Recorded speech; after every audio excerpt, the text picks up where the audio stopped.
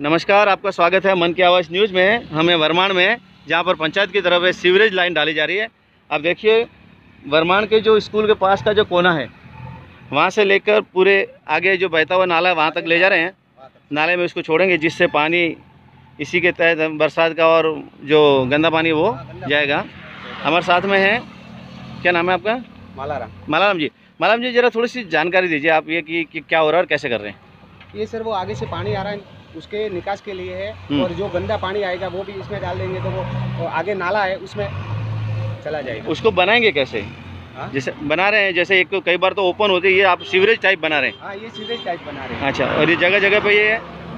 Chamber रखा है। Chamber रखा है। कोई भी कचरा है तो उसको साफ़ करने के लिए वो जाली खोल के अच्छा। जाली डालेंगे। ये जो आप चैम्बर दिखा रहे हैं ये यहाँ इस इस जो जगह जो आपने जगह जगह पे छोड़ी है उस पर चैम्बर बनेगा? हाँ चैम्बर बनेगा अच्छा। और चैम्बर के ऊपर जाली लगाएँगे।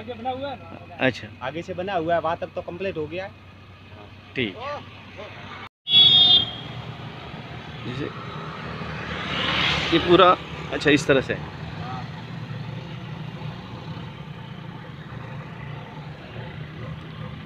और ये जगह जगह पे ब्लॉकेज देंगे आप? हाँ यहाँ पे वो चैम्बर देंगे। चैम्बर हाँ वो खुला ऊपर जाली डाल देंगे।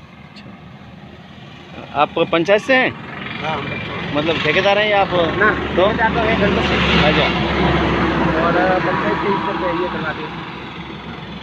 तो आप थोड़ी सी जानकारी दे दीजिए आप इस तरफ़ आए सूरज थोड़ा इस तरफ़ आ गया तो छोटा नहीं आ गया।